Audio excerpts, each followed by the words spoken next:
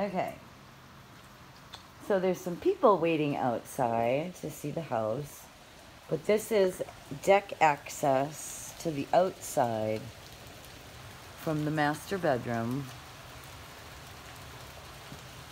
So it is fenced, so that's good for the puppies. And I'll get more of this. Oh, it's just a rainy day.